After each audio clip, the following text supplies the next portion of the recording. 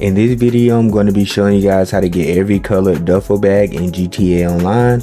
And shout out to the lovely people on the screen.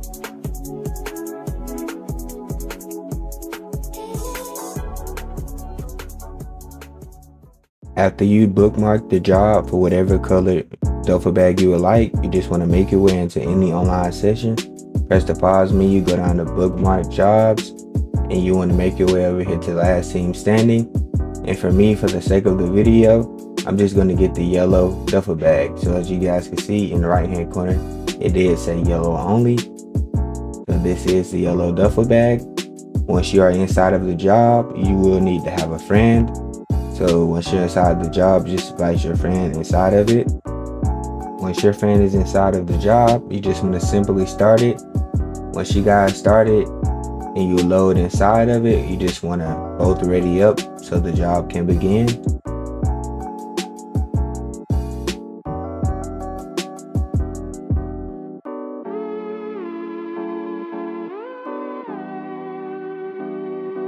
Once you spun inside of the job, you just simply want to make your way to the interaction menu.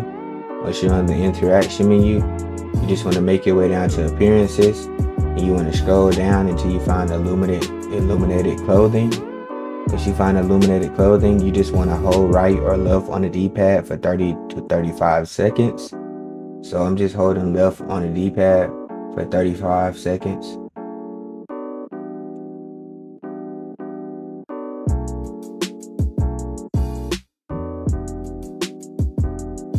Once you have held the left D-pad for 30 to 35 seconds, you just want to simply pull up your phone and leave the job through your phone.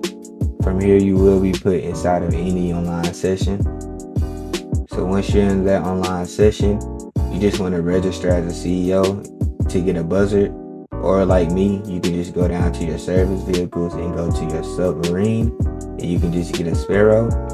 You want to make sure that you do not use an oppressor for this because if you don't hit the next part of this that is coming up, you will not have another parachute. So this is why I tell you to either get a buzzard or a sparrow.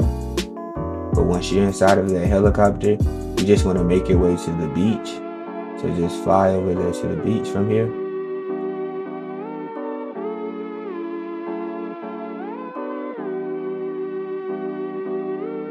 Once you guys have arrived at the beach, you just want to fly close to the mask store. Once you get to the mask store, you just want to simply jump out of the helicopter. You just want to make your way over to the mask store.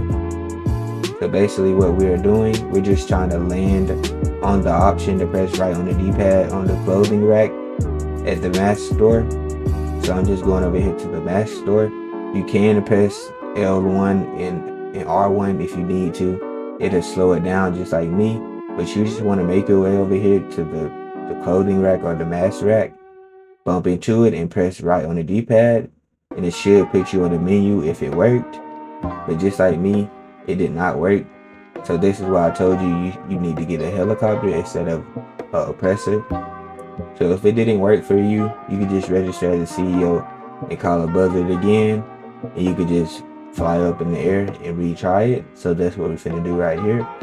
So we just getting in this helicopter again. We're gonna go back up in the sky. Once we're high enough, we're just gonna get out of it. So we're just gonna jump out of the helicopter once we're high enough. So jump out of the helicopter, pull your parachute.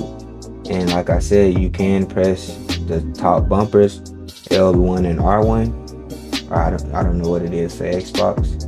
But you just wanna press those top bumpers so it'll help you go slower you just want to land directly in front of this rack right here. You want to spam right on the D-pad and walk up a little bit. And if you did it right, you will be put on the, the menu.